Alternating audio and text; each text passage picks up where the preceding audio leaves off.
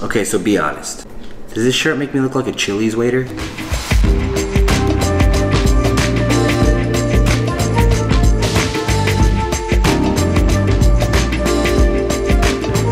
Guys, so here's the deal. Today is Sunday and literally all weekend long I've been struggling to feel like I am awake at all. And so rather than going out for coffee this weekend, asking people if I can film and having them gracefully tip the latte art towards the camera, uh, I'm just gonna make some coffee right here, shall we?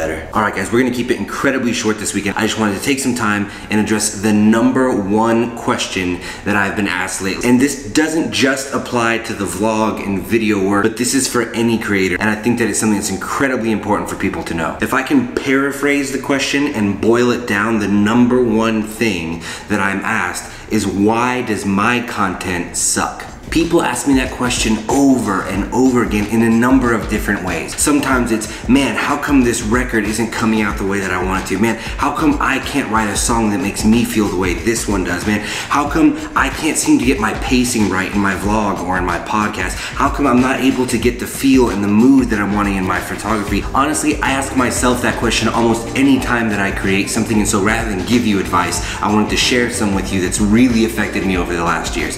This is a quote by a guy called Ira Glass. You probably know who he is. He's a host of the This American Life podcast. And Ira says, all of us who do creative work, we get into it because we have good taste. But there is a gap. The first couple of years you make stuff and it's just not that good. It's trying to be good. It has potential, but it's just not. But your taste, the thing that got you in the game, is still killer. And your taste is why your work disappoints you. A lot of people never get past this phase. They quit. But most people I know who do interesting, creative work went through years of this. We know our work doesn't have that special thing that we want it to have. And it's only by going through a volume of work that you'll close that gap and your work will begin to be as good as your ambitions. I wish that someone had told this to 15 year old Dave. See, I began in middle and high school writing songs and doing things like that, but I was listening to Radiohead and U2 one moment, and then the next moment, I was writing a song about my high school breakup, and there was a disconnect. And it's not that age has literally anything to do with it, it's just beginning to put in those reps and strengthen that creative muscle that gets you to the point where you can close the gap between the content that you want to create and the content that you are creating. I get asked all the time by incredibly talented people, people that I, to be honest, am jealous of their talent. Man, why does the thing that I'm creating just not live up to my expectations? And so I say it to them and I'll say it to you. Keep creating, and I guarantee you the gap between your expectations and your reality will begin to close. Now, there is a subtext here. Not everything that sucks sucks because it's new. If it takes consistency and persistence in the beginning of your creative endeavors to begin to create good content, good art, I guarantee you it takes even more persistence and even more consistency to continue creating good art. The vlog a few weeks back called It Takes Hours to Create Minutes and I talked about how so much of the art that we consume, we can glance at a painting on a wall in seconds. We can listen to a song in three or four minutes and honestly most of us don't even make it all the way through that thing.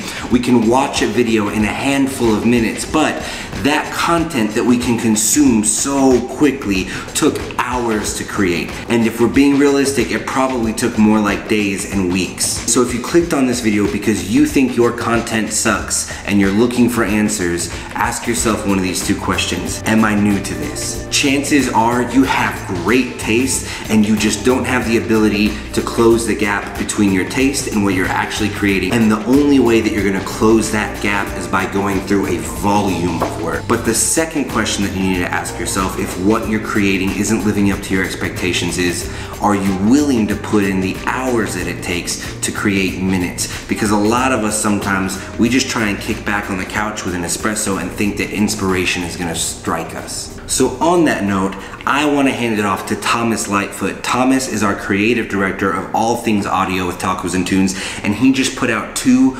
killer singles. They're on iTunes, they're on Spotify, they're on Google Play, anywhere you can get music online. I'm gonna play you guys an extended clip of one of his songs and I'm gonna link that stuff down in the bio because this is someone I respect hugely as a creator. This is someone who is new but is making his way through a volume of work and is putting in the hours it takes to create those excellent minutes. So enjoy Thomas's newest single and this week rather than asking you to like or subscribe to this video, I'm just gonna ask you to go to the description in the bio, click that iTunes link, and actually spend the 99 cents that it takes to support this artist and let him know that what he's creating is killer. And we'll see you guys next week.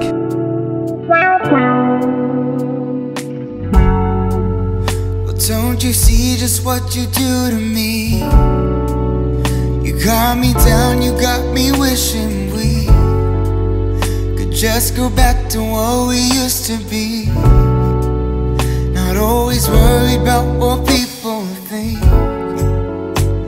Cause now they got you stressed out. You're always in your head now, no, no. But remember what you told me. That you just wanted to be happy So I'm